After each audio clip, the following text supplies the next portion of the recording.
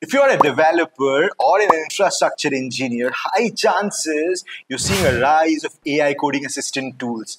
However, they come with a trade off the trade off of generating code at speed over quality. However, it doesn't have to have a trade off. Hi everyone, my name is Shan. In this video, I'm going to showcase five AI coding assistant tools which will help you become more productive and generate faster, better quality code. Now, whether you are a solo developer or a QA or a product enthusiast, you'll be able to understand out of these five tools when should you use what tool and when should you consider for testing when should you consider these tools for generating code. So without further ado let's get started. All right the first one in the list is Qodo Gen now i have been working with one of my um, uh, platform engineer wherein we've been able to find a subtle bug which we just identified before pushing onto the production. Now what it does what this javascript code does uh, it it is part of the, our new product wherein we are providing online editor. We as a developer have forgotten to catch a bunch of issues. Now what i'm going to ask do is on the left hand side on my favorite code editor which is visual studio code i'm going to click on Qodo i'm going to say i've already given a context over here. You can give entire folder or a single file as well. In this case i've just given the single file which is s. You can just change keep changing the context over here all right? Files or folder as you can see.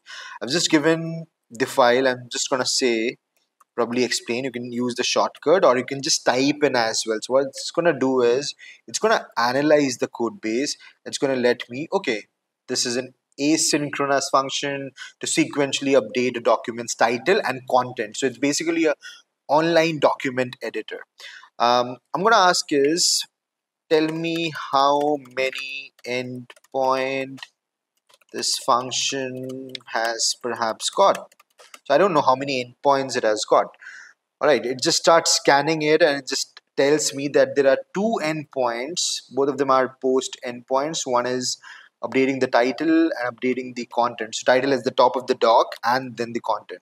Okay, now what I'm going to do is I'm going to ask it to refactor could you refactor and combine both the endpoints for me so what's gonna do is it's gonna certainly here's the refactored version where it's trying to update and combine both the endpoint which is title and the content but that's not the end game What's really good is to generate test cases for this specific scenario to handle potential issues I want to figure out, figure out three test cases. So I'm going to type that out as well. So I'm going to say, can you generate test cases to handle three things. First test is simultaneous update. The second one is update in correct order. And three is probably rollback or retry mechanism, which I have completely missed. As soon as I give the prompt, it started analyzing the code base. It started to generate the test cases, test cases one, and then start making sure that update has the test cases have has got the update in correct order and then it has a test case for rollback, rollback or retry scenarios as well. Once that's done, either I can copy or insert uh, it. You can just click on insert, it'll insert, or you can just copy uh, the recommendation. Figure out if you're if you're kind of comfortable making the changes, and then you're good to go. All right, this is how a tiny issues could have created a snowball effect in the production. We were just able to avoid it using Qodo Gen. Give it a spin. Link is in the description. Right, the next one up is Cursor. This one actually it's it has got its own ID. Now think of it like Visual Studio Code extended version of there's a there's a little bit of learning curve, but if you've used to use uh, Visual Studio Code, there shouldn't be a lot of problem. You get autocomplete, refactoring, an explanation, and bunch of other features. So let me just open fire up the chat bar. So as you can see on the on the right hand side, you get the chat bar which gives you an option to select the agent or you can select the context as well for now or you can give the entire context you can go over here files and folders and you can just give the entire code base. What I've done is I've got a website um, and I'm giving the entire folder uh, context to cursor. Um, since it has got its own editor functionality, it comes uh, with all the AI native uh, features. So let's say I want to say find the number of pages in the code base. I'm new to the new to the um, uh, team and I don't know how many components are there, how many pages are there. So I don't want to go into sitemap and all of those things. I want cursor to read my entire code base and figure that out for me. All right, it's saying I can see a lot of pages, apps, directories. All right, it's kind of uh, still progressing. It's it has figured out some directories in the app folder and then service directories and other directories as well. It is saying now it is checking the other additional pages. All right, it has finished figuring out. It has got 25 pages, which is uh, I would I would kind of trust cursor for that. So it has got home page, pricing page, contact, FAQ, book a demo, and all of those things. Now what I want is book a meeting link, which I want to replace with a new one. Could you replace all the book a meeting button link with my new calendly link which is perhaps https slash calendly obviously it's a pseudo calendly link book a demo all right so as soon as I give the prompt it's going to say yes it will help you help us to replace the book a meeting button. Figuring out all the pages places where the calendly link might be. Now as you can see over here you can accept or stop as well. I'm going to click on the page i'm going to go to book a demo page and it will directly take me to the page and now from here i can replace or i can just select the uh, changes as well. All right that's pretty much all. I hope this was helpful for you.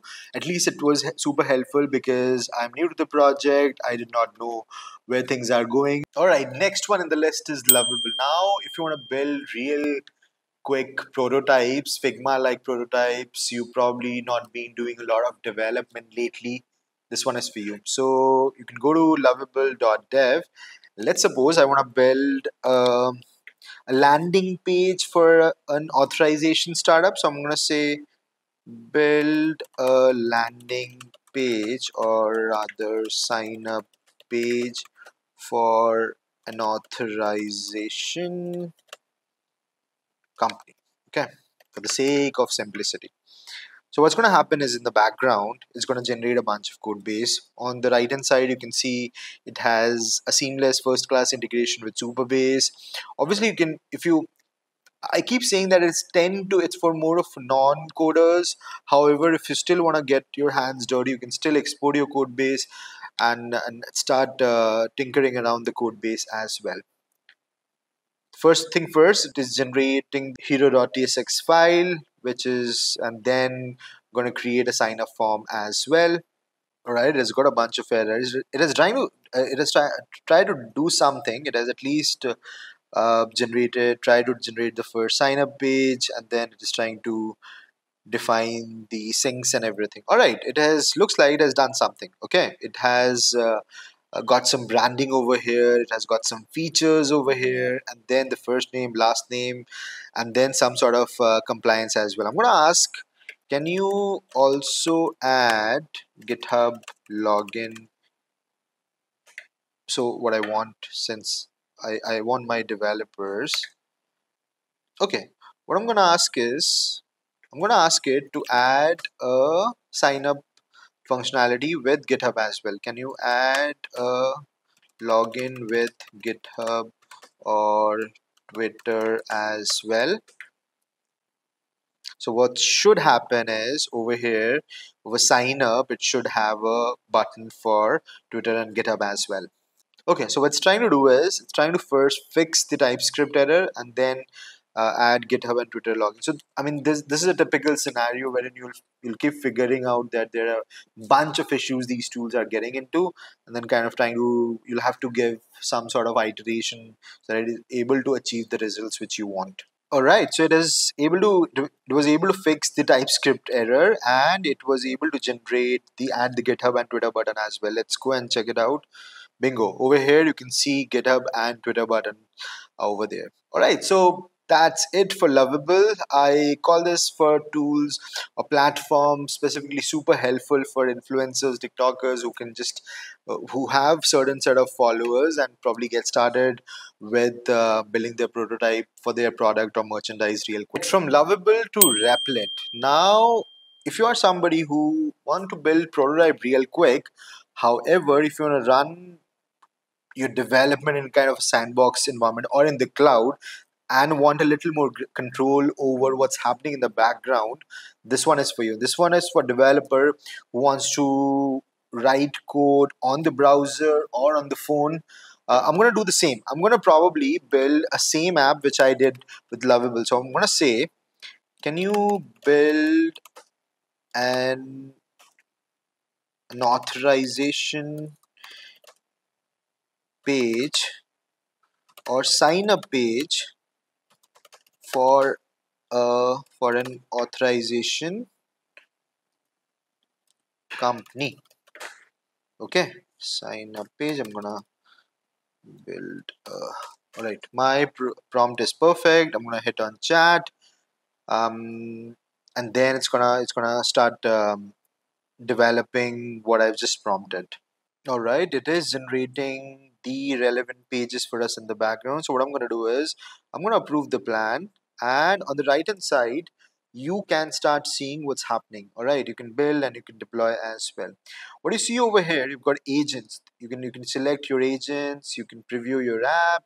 You can click on the console. You can create a database. And you can um, kind of uh, get hold of other tool bases as well. What I'm really interested is I'm going to probably open the file. So once it has started to generate, as you can see on the right hand side, it started to generate the app for me and it has got the uh, branding on the top right top left on the right it has got the signing page and then the first name last name and it is generating side by side the the company size and the create account page as well on the, it's trying to add the footer also now it is it is saying that it's fully SSL encrypted uh, and SOC 2 compliant as well.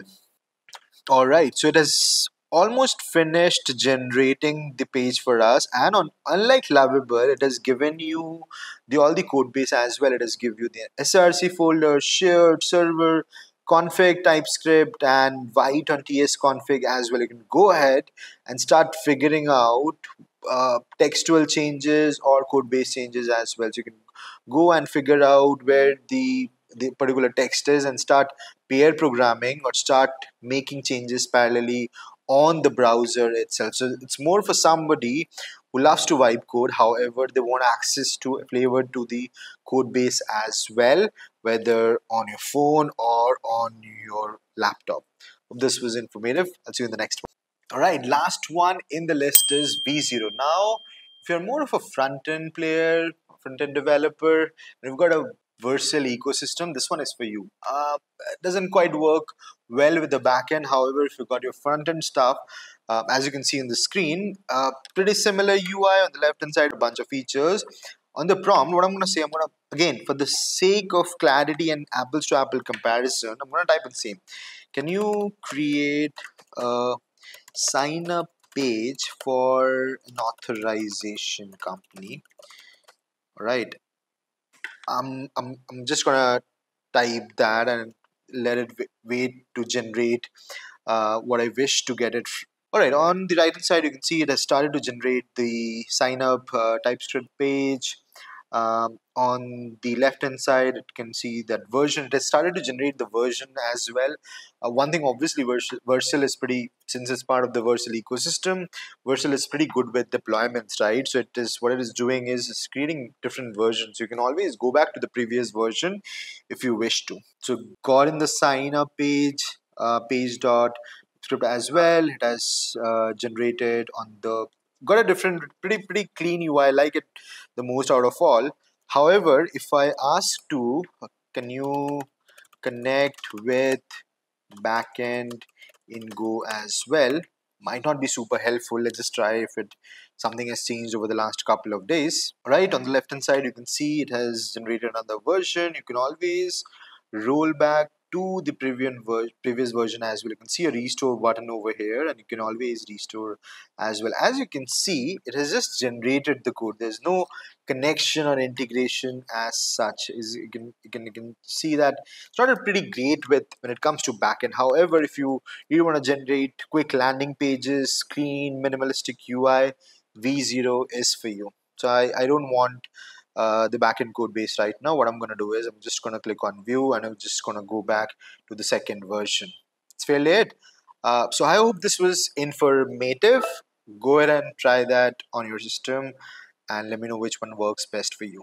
So all of these tools help you in different kind of setup and scenario.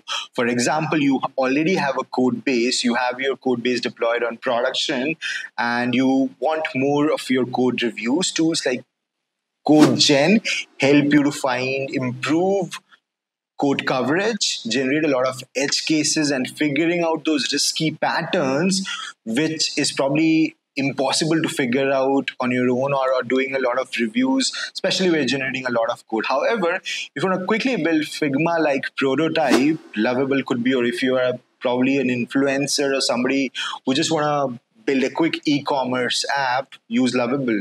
Uh, if you want a full-blown IDE, AI-powered ID, go for Cursor.